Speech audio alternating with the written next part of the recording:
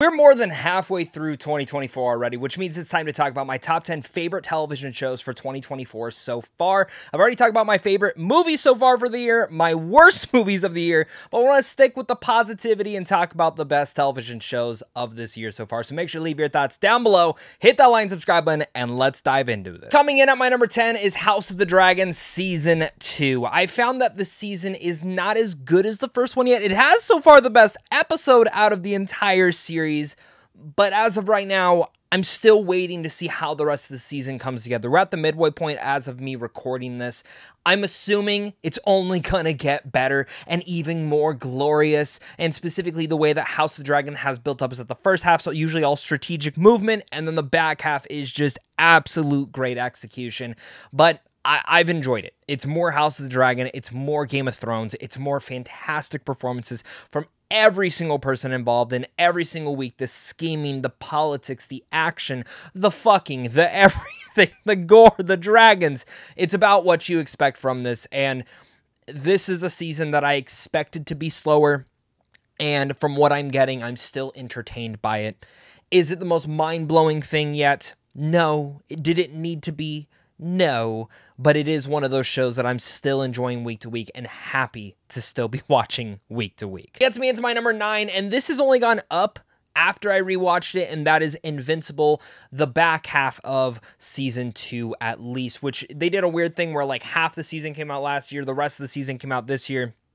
Dumb choice, in my opinion. They should have just had it all together. But but season two, I was a fan of. But at the same time, I felt like it was a little bit messy. But after I went back and actually rewatched part one and part two back to back, Invincible only grew on me a little bit more. I still don't think it's as great as season one. I think season one is like one of the best pilot first seasons ever for any sort of show.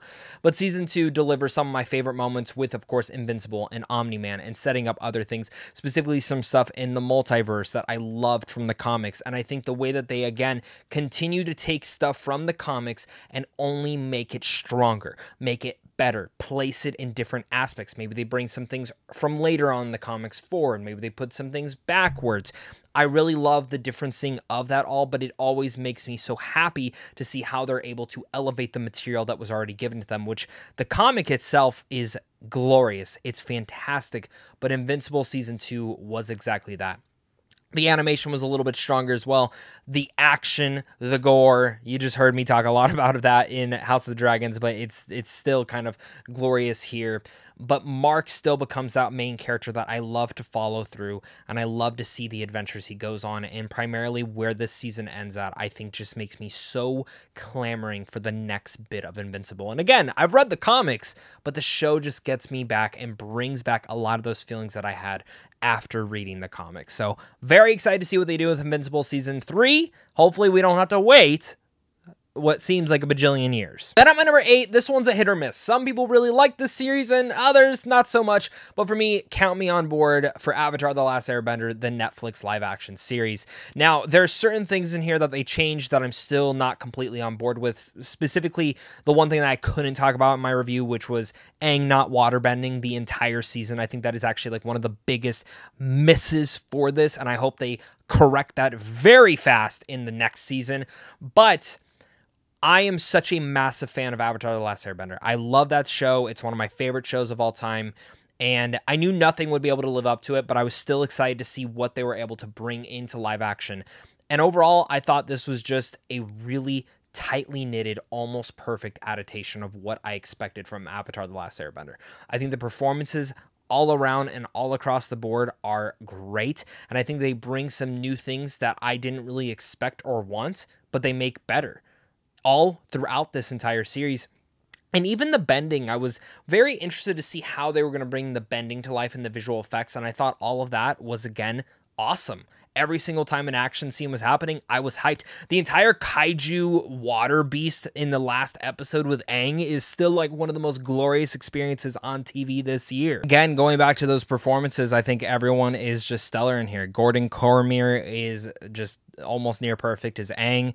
I wanted a little bit more of Katara. I'll say that. Like I think Katara could have used a little bit more to do in here, but again, good.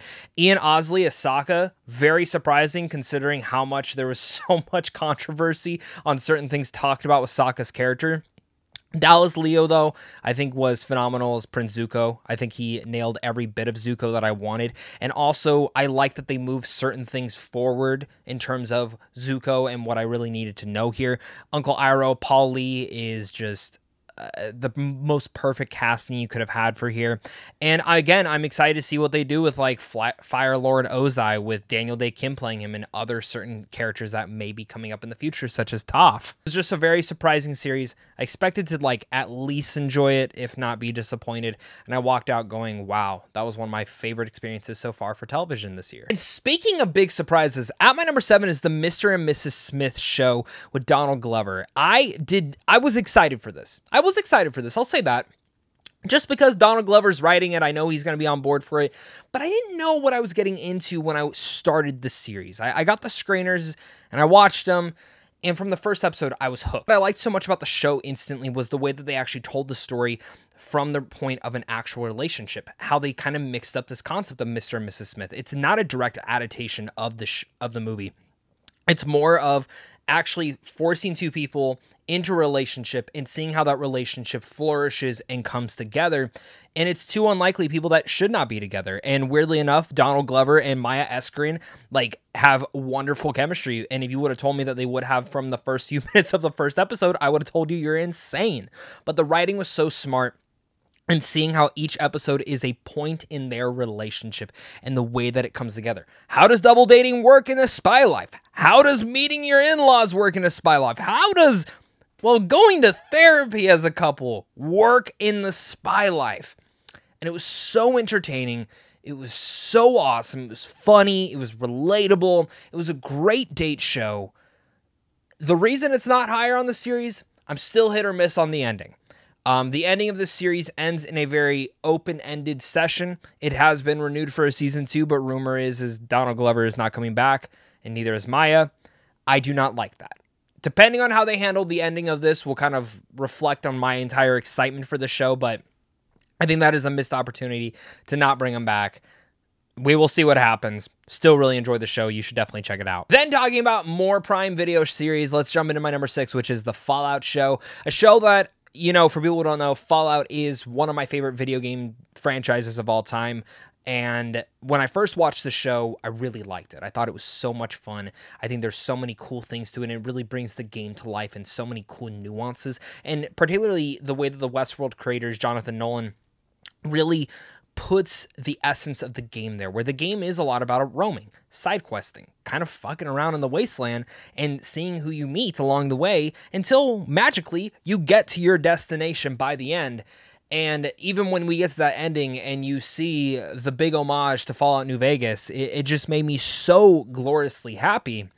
But also the performances in here. Walton Goggins is absolutely stupendous in here. Ella Purnell is like such a special character that I was obsessed with, and I think most of the internet was as well, but it made me want to play the video games again. A franchise that I was kind of a little bit over just because of like how much time and hours I'd put in. And I jumped back in and played literally all of them that you can on modern consoles now. 3, 4, New Vegas, uh, even 76 I tried again. And if the point of this show was to get me excited back for the franchise, but as well as bring like a nostalgic piece of a memory of my life to life in live action, they executed that so well.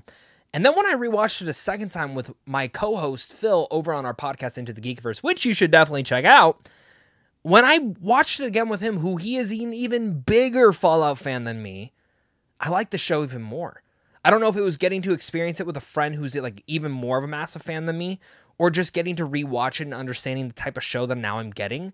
Fallout nailed it in almost every category, and I was so happy with it. Get into my number five, which is The Boys Season 4, which I think for most people is not over yet as I'm putting out this video. For me, I've seen the entire season, and I loved it. Now, I know a lot of people haven't been huge on this one, per se, which is a little bit weird for me, but I love this season. I think it starts off a little bit slow, but this is a great build up season for a finale season, which has already been confirmed that season five will be the final season of this iteration of characters.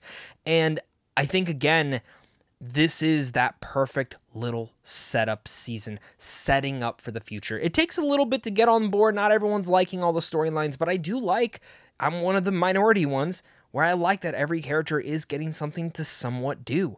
I like that A Train is not just fi- is like actually doing something. He's not wasted with material and that goes for other characters as well. And for me, the Boys season 4 really nails in its gravitas of what it's trying to do with its characters, with its thematics, but as well with the buildup of suspension and using Homelander as a character where you never know when he that man walks into a room, you never know what Anthony Starr's character is going to do. And that goes from the performance to also the writing. And I've just found that The Boys is like one of those special series that I've had an up and down road with. I love the first season. I thought the second season on rewatches is okay. Season three, I thought again, kind of started off a little rocky, but got excellent. But then I started going, okay, you know what? I think I'm good. I think I'm good. Let's let's start to end this stuff.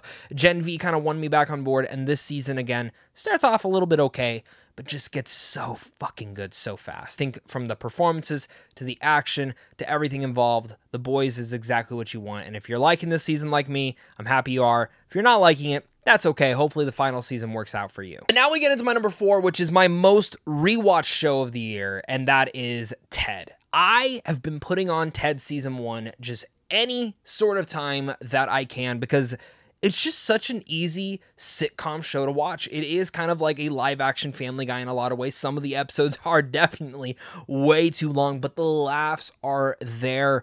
And I've always loved Ted the Teddy Bear. I love Seth MacFarlane, but those original Ted movies I thought were hilarious. They're easy re-watches that I can go back to at any sort of time. And I've always thought it was an easy IP to kind of just keep mining and playing off of the fun idea. And a little bit of me rolled my eyes at the thought of a prequel but the prequel works. The family's fun. John Bennett, the, the kid who plays John Bennett in here, is so good.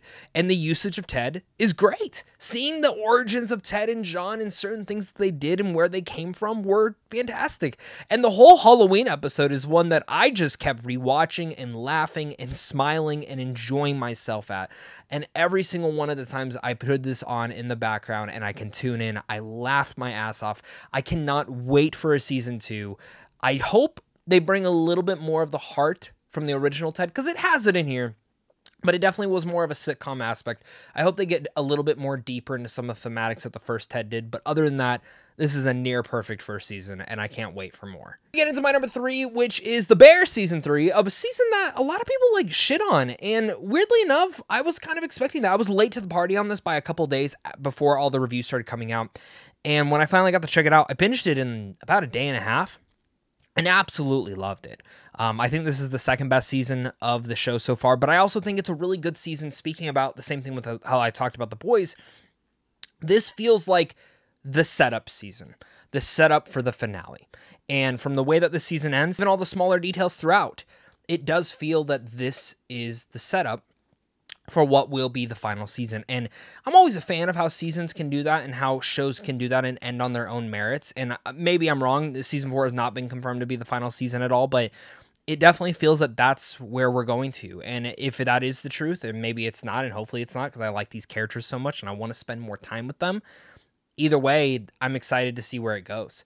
I think this was a great season. I think episode six is one of my favorites of the entire series. Shout out to Ayo. She did an incredible job directing this. And even episode seven, the whole entire um, maternity scene, I thought was just super special and deserves a lot of awards. I think this is a season that maybe our main players who have won awards before didn't really sway or move in one way or the other within character development, but I think all the characters that we have wanted a little know a little bit more about such as like Tina, you get for this and I think those little moments are the things that make me work. And I noticed that the show isn't just all about character development, it's about hanging out with these characters and spending time and feeling that stress in the kitchen and that's what I love about The Bear season 3. We get down to my number 2 and I'm curious to see how many people actually watch this series, but I love this show so much. And I have issues with it still, but I loved it. And that is The Ones Who Live. The Rick Grimes show with Michonne, and as a giant Walking Dead fan from the comics to even the show, which I will not defend fully, but it did get better. It just had its very harsh weak points that a lot of people dropped off on. This was the series I've been waiting for ever since Rick Grimes left the show, and specifically, especially when Michonne left the show, this was the series that I was needing answers to. I needed to know where everyone went. And while it's only six episodes, I definitely felt that there was more story to be told here. I think it could have used eight, nine episodes to fully tell out everything and not feel a little bit rushed. But by the end of it, I overall felt satisfied. This felt like a good ending for The Walking Dead. And I know they're still doing a Daryl Dixon season two. I know they're still doing a Negan and Maggie season two for their Dead City. And I'm sure they'll be good because the first seasons were actually quite enjoyable for those. But I sat there in love with this series from top to bottom. I love the writing of it. I love the performances from everyone on board. Episode four, I think, is the big one when they're like locked in that room and they have a lot of conversational pieces. That was a point where it shows just the powerhouse of Andrew Lincoln and Danai Gurira and their performances with one another and how strong they are as actors.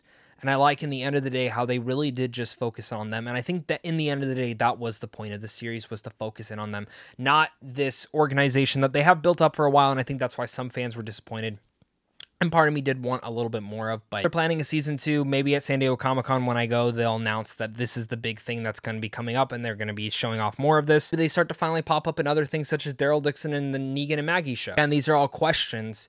But as just talking about the series itself, it delivered exactly what I personally wanted was a great conclusion to both their storylines in the Walking Dead world, and I got exactly that, and I absolutely loved it. I thought this was such a brilliantly written show, and again, as a Walking Dead fan, I felt satisfied. The best television show of this year, hands down, is X Men 97, a show that I didn't think was going to be great.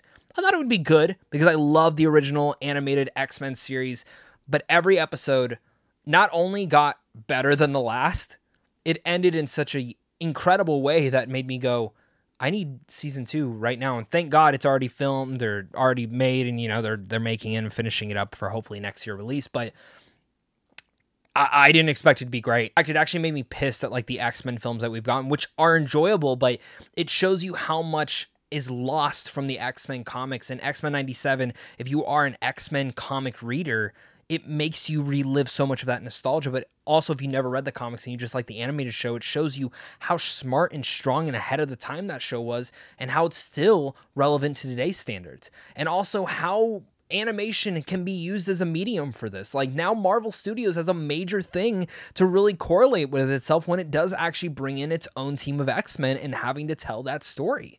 And I loved how each episode built off the last, had something new to it, but always gave us character development for everyone on board. And the one episode that pops in my head is the usage of Gambit, Rogue, and of course Magneto. And how that episode nearly broke me in half, snapped me. Uh, and I remember watching it. I had to watch that one at work. Uh, well, not at work, but on my lunch at work. And I turned, I came back and I, my eyes were red. And my coworker was like, You good, man? I was like, Dude, X Men 97, because he was also watching it. And then he watched it on his lunch and came back. He's like, Oh shit, yeah. Um, it, it broke me. And I think this entire series just showcases how great the X Men are and why they are some of the best comic book characters ever made. I just love 97 so much, and I can't wait to definitely hear your guys' thoughts down below in the comment section. So leave your top 10 down there. Thank you so much again for watching this, and of course, until next time, stay classy.